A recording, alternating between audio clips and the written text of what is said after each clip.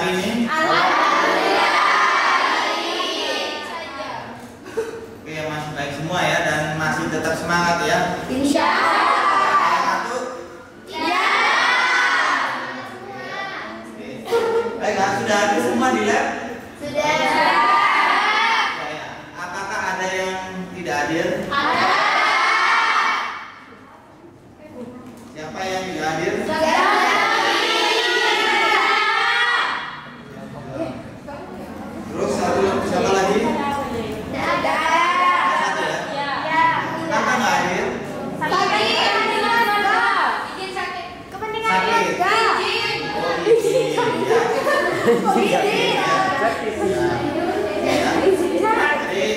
kalau misalkan izin ya tetap memberikan surat ya ada suratnya ya kan? Ya. Ya. Baik ya. Eh, pertemuan kita kali ini ya mengenai masih di mapel teknologi perkantoran ya. KD-nya mengenai menge- menerapkan pengoperasian aplikasi pengolah angka. Ya itu kadang pengetahuannya dan kadang keterampilannya yaitu mengoperasikan aplikasi pengolah angka. Iya. Eh, pernah dengar nggak aplikasi pengolah angka itu apa? Ya, apa contohnya itu?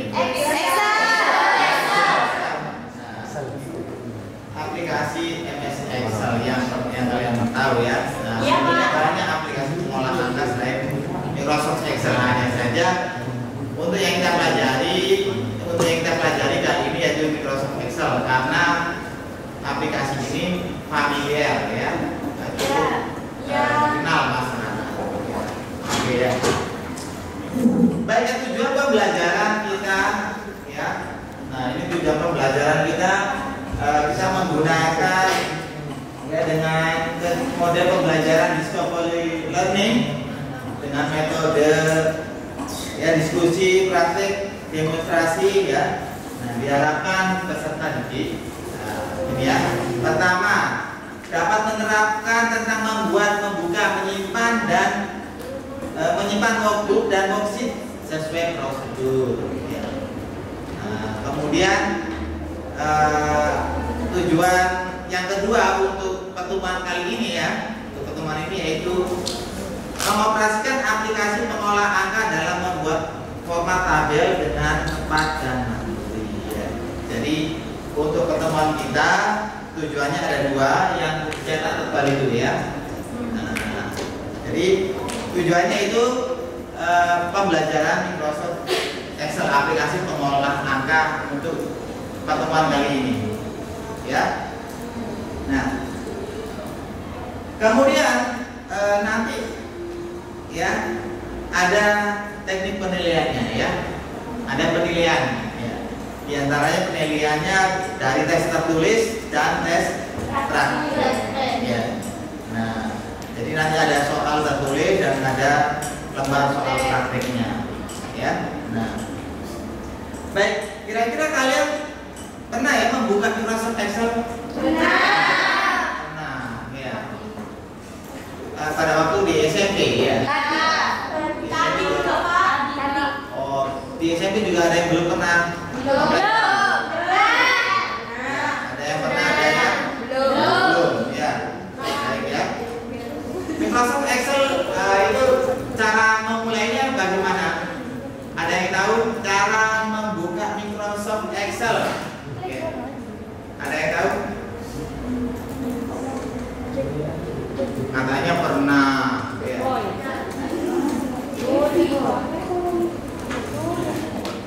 Ya. Nah, atau langsung dicari tahu ya. Ya, di buka itu di aplikasinya semuanya buka Microsoft Excel ya. Nah, itu coba diceritakan bagaimana caranya. buka Ya, Mbak. Namanya siapa? Tony ya. Gimana caranya? Ya, kemudian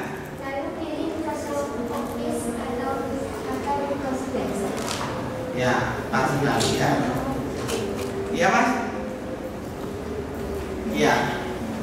manfaat manfaat Excel bagi siswa.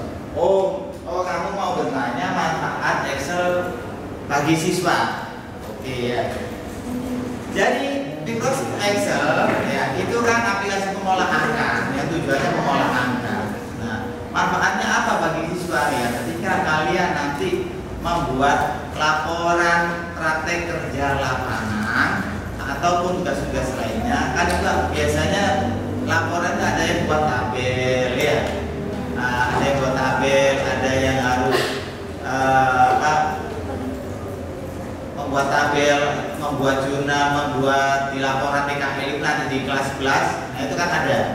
Nah itu kan bisa kalian gunakan aplikasi Excel ini untuk membuat laporan praktek kerja lapangan. Ya itu kalau bagi siswa dan juga banyak lainnya yang bisa dimanfaatkan dari aplikasi pengolahan data ya. Ya, banyak apa tadi yang mau tanya?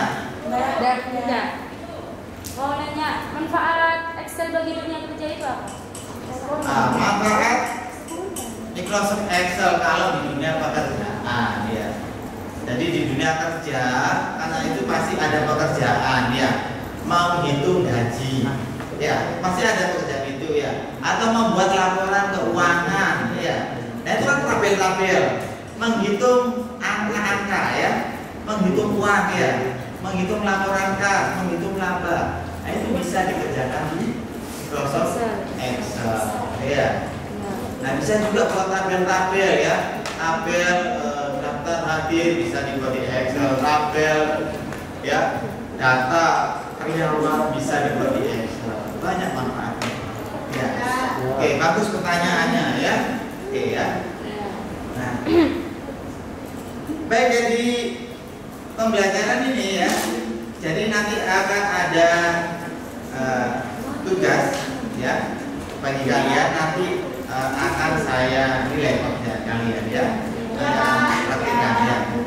Jadi pertama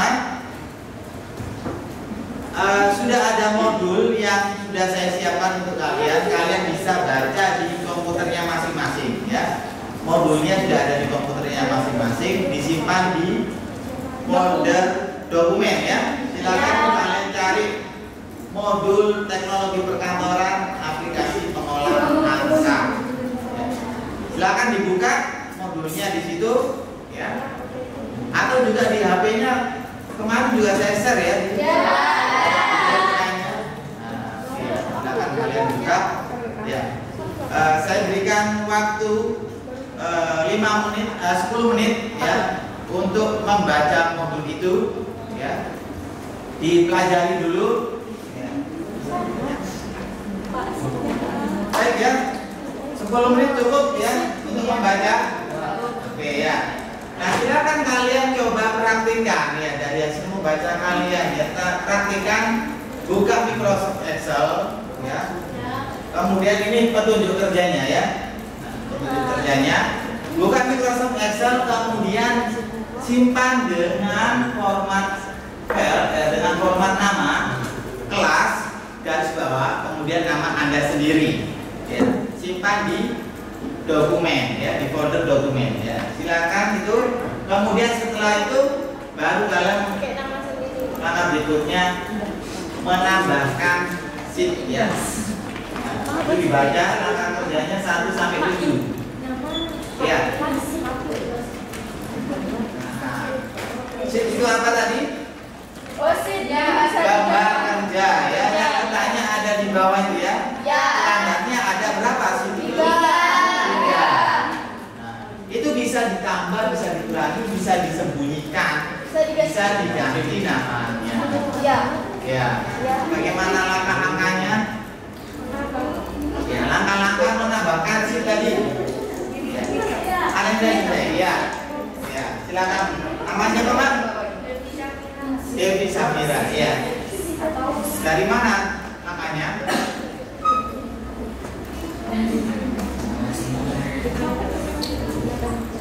Cara menambahkan sheet yaitu dengan menekan insert worksheet. Apakah di menu insert diklik ya klik menu insert kemudian insert apa? Insert worksheet ya. Nah, jadi bertambah ya. Atau ada lagi yang ingin menyampaikan mungkin caranya berbeda dengan temannya tadi. Ada yang caranya berbeda dengan cara temannya? Ya. Bagaimana caranya? Shift uh, menekan tombol di keyboard tombol shift sama F11 cara menambahkan shift ya oke nah, yang lainnya sambil dipraktekkan ya dan silakan itu dilanjutkan ya soal itu ya. Buat sheet sampai 5 sheet tiap sheet diberikan nama 3 1 2 3 sampai 5 masing-masing sheet ya. Setelah itu di ya buat sheet sampai 5 diberikan nama masing-masing sheetnya dengan 31 2 3 31 32 33 sampai dengan 35 ya setelah itu ya 2 rename dengan uh, dengan nama latihan ya. Sheet yang tugas 2 di rename dengan nama latihan. Kemudian yang ke berikutnya menghapus. Coba kalian cari cara menghapus sheet ya. Menghapus sheet yang bernama uh, tugas 3 sheet tugas 3 coba dihapus. Ya dipraktekkan lalu sembunyikan. Menyembunyikan sheet ya. nah ini yang sheet yang tugas keempat. Coba sembunyikan. Kalau berhasil kemudian tampilkan kembali ya. Jadi bukan surat tugas istilahnya ya cara menambahkan warna pada sheet ya. Oke diperhatikan ke layar. Di modul nggak dijelaskan Oke ya. browsing bisa mana nggak internetnya ada ada yang ingin dijelaskan sebelum saya jawab Tidak ada. Oke, ya, perhatikan aja ke layar ya. Nah, saya akan demonstrasikan caranya, oke ya. Caranya membuat sheetnya berwarna, misal saya pilih perhatikan ke layar ya. Saya salah satu sheet, misalkan sheet ini ya, oh, eh, operator aritmetika ini ya. Nah, diklik kanan dulu sheetnya. Kemudian setelah itu ada tag color. Tag color. Bukan tag color ya. Nah baru kemudian anda pilih warnanya ya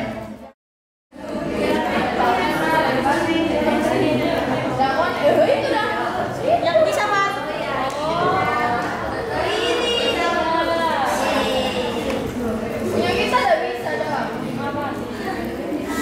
baik eh, ya. Baik, saya minta perwakilannya ya untuk mendemonstrasikan ya cara menambahkan sheet ya saya, jadi saya pilih dua orang ya Eh, cara menambahkan sheet menyembunyikan sampai dengan menampilkan kembali ya demonstrasikan ya Eh, Kalau mau menambahkan sih bisa tekan ini ataupun tekan shift kemudian F11.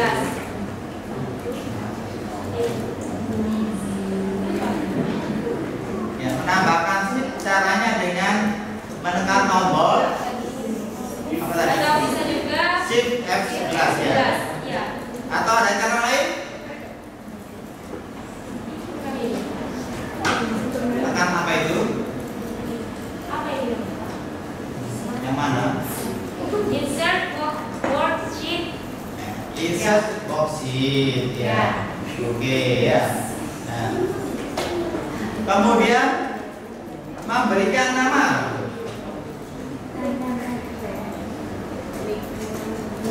Klik dua kali kemudian nama. Tulis ya, nama yang akan ketik namanya ya. Diklik dua kali di sheetnya ya. Diklik dua kali di sheetnya. Ya oke ya. Kemudian diket- diketikkan ya.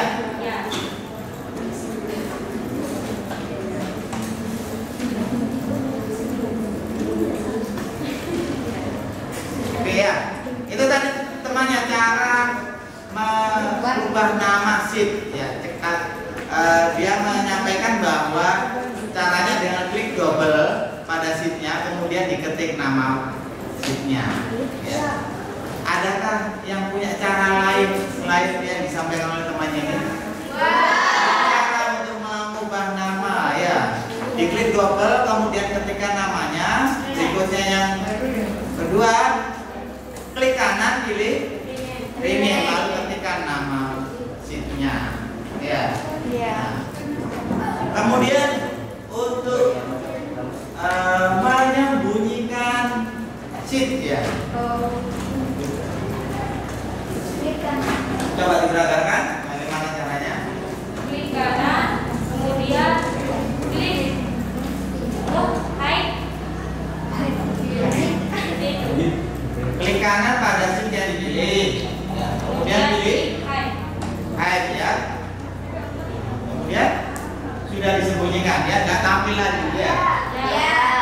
kenapa sih kok ada sheet yang perlu disembunyikan? Keperluannya apa kira-kira ada sesuatu yang dirahasiakan ya.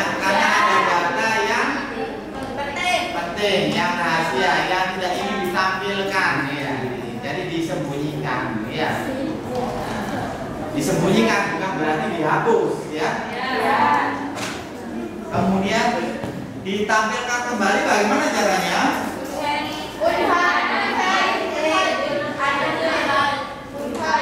klik kanan kemudian pilih unhide ya adakah yang, yang punya cara lain nggak ada ya baik itu tadi temannya yang sudah memperagakan Indah ya, ya berikan waktu untuk Indah. Ya, silakan kembali ke tempat duduknya ya. Oke, karena ada masih masih ada sisa waktu ya. Eh, jadi akan ada tes berikutnya.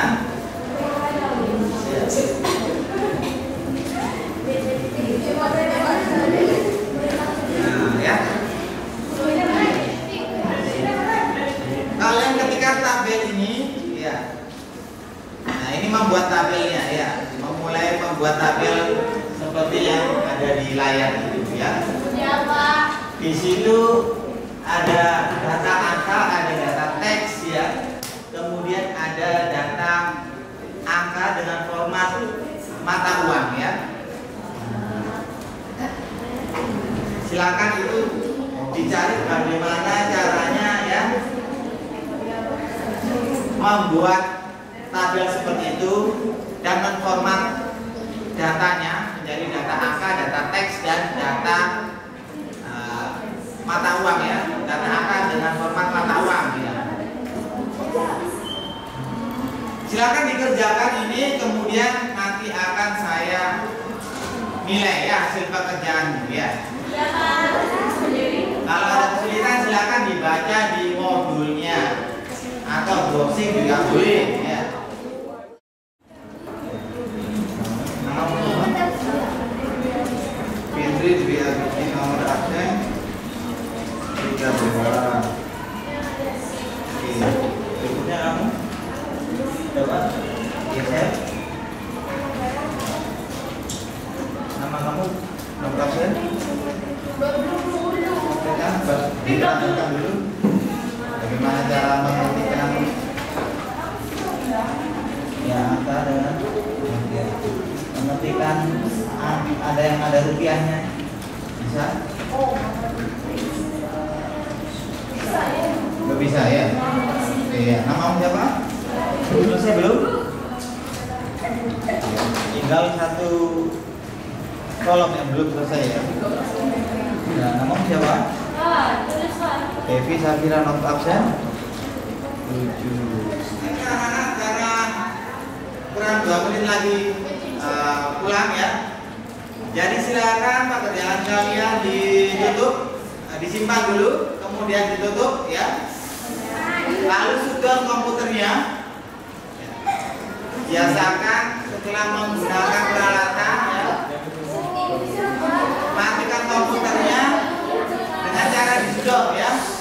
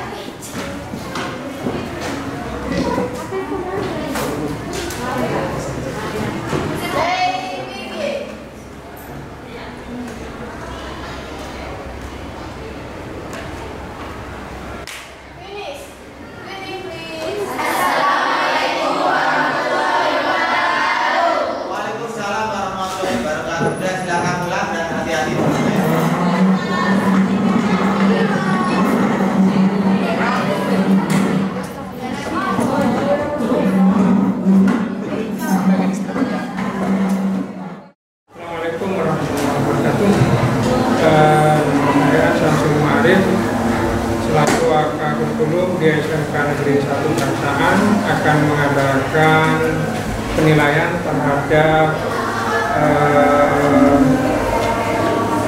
praktek mengajar dari Bapak Isa Zahrisan Aidin. Kita mulai dari persiapan berupa kelengkapan mengajar yaitu silabus dan RPP. Breakdown silabus RPP sudah benar sama dengan yang kemarin. Kemarin sudah bagus, sudah benar breakdown dari RPP ke eh, dari silabus ke RPP sudah sesuai materi jam jam dan langkah-langkah untuk RPP-nya sudah benar mulai dari kompetensi inti, kompetensi dasar, indikator pencapaian kompetensi, tujuan antara indikator dan tujuan sudah relevan.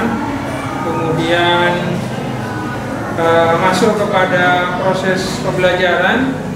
Proses pembelajaran sudah ada peningkatan dari Pak Isa, sudah mengacu kepada apa yang dibuat di dalam RPP, mulai dari pendahuluan, kemudian kegiatan inti, kemudian penutup itu sudah sesuai dengan apa yang telah dibuat di dalam RPP kemudian kesesuaian materi yang ditulis juga sudah sesuai sudah banyak peningkatan dari hasil eh, pertemuan yang pertama.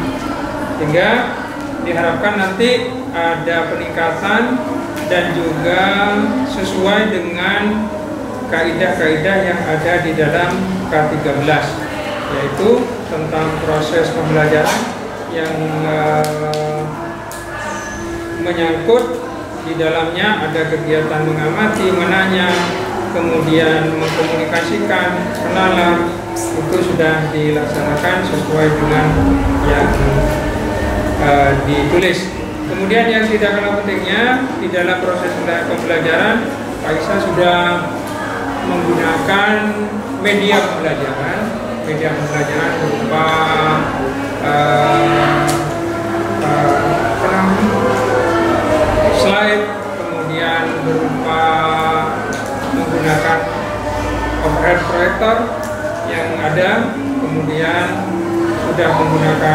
semua eh, perangkat digital yang ada di sekolah seperti itu.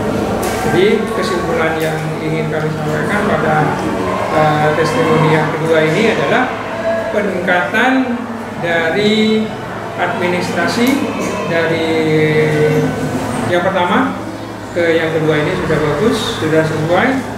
Kemudian peningkatan metode mengajar sudah sesuai dengan kaidah yang ada di K13.